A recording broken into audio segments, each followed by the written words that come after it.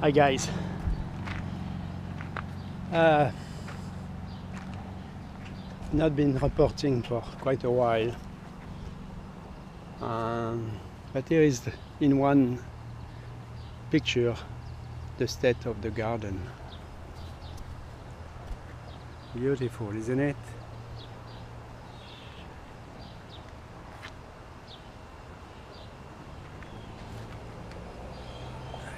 Le beer, bug.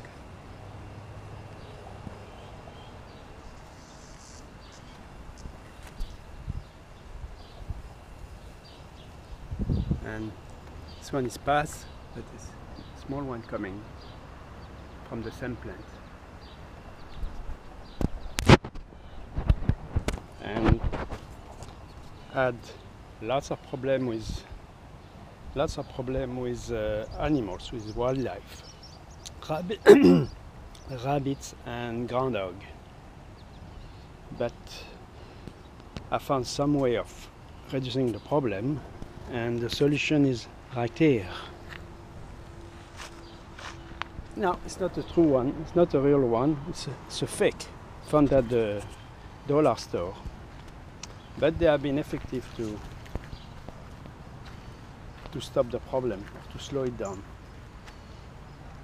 Yeah, I have like four of them around.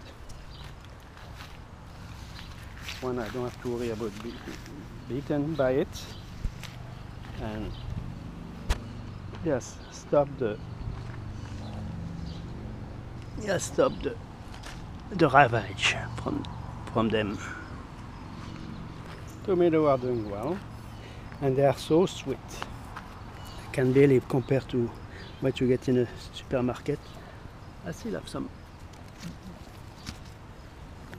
animals problem, but it's limited.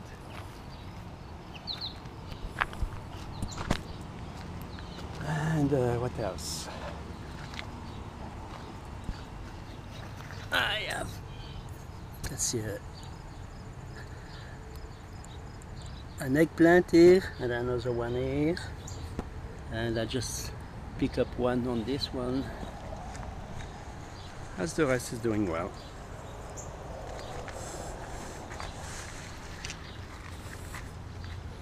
The cabbage are coming back from the, the attack. They were just totally destroyed. So I put a new seed which are just coming here. You can see them, but uh, and the big one are recovering. So, oh, I see some snow pea to be harvested here.